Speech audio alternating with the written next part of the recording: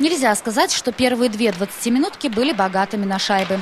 На 13-й минуте Андрей Масловский открывает счет, реализовав численное большинство. Затем наступило затишье, которое длилось более 20 минут. И лишь за несколько секунд до окончания второго периода Михаил Смирнов с подачи Сандеса, Виркстениса и Ивана Кокина сравнивает счет. Третья 20-минутка тоже началась для нашей команды со взятия ворот. На сей раз отличился Денис Мартюшов. Но недолго длилась радость болельщиков Латгалы. Через 4 минуты Андрей Масловский оформляет дубль. А уже во второй половине периода в наши ворота были заброшены еще три шайбы. Игра завершилась победой СМС-кредит со счетом 5-2. Мы сегодня старались. В общем-то, за последние матчи как бы эта игра была, наверное, приближенно к лучшему с того, что мы можем на сегодняшний день.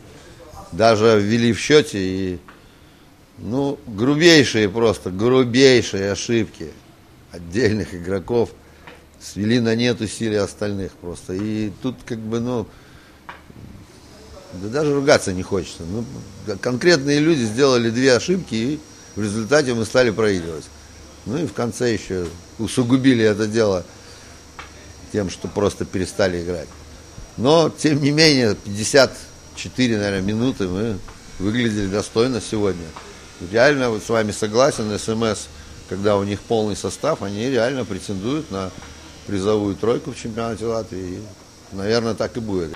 И вот что странно, на трибуне мы увидели одного из лучших нападающих Латгала Антона Кузнецова. Почему же его не было на площадке?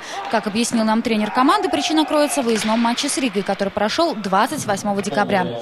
Ту игру судил Андрей Кудряшов. Матч получился весьма напряженным. И, как оказалось, Антон получил дисквалификацию до конца сезона. Я, конечно, все понимаю. Не оправдываю Кузнецова ни в коем случае.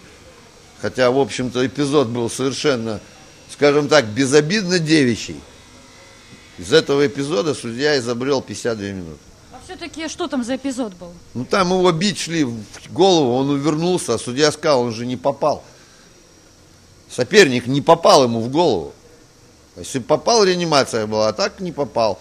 Ну, естественно, он сопернику сказал все, что о нем думает. Потом судье сказал все, что думает, и два матча штрафа из этого эпизода. Ну, ни в коем случае не оправдываю его, что там держать себя надо, но момент был страшный. Конечно, судья всегда прав, но если в действительности был такой момент, когда соперник пытается намеренно ударить клюшкой другого игрока, должно последовать наказание. А в итоге только латгальцам достались 52 минуты штрафа. Кроме того, мы потеряли нужного игрока. Следующую игру Латгала проведет на выезде 14 января с Земгала. А увидеть домашний матч с Литовской энергией мы сможем лишь 18 января.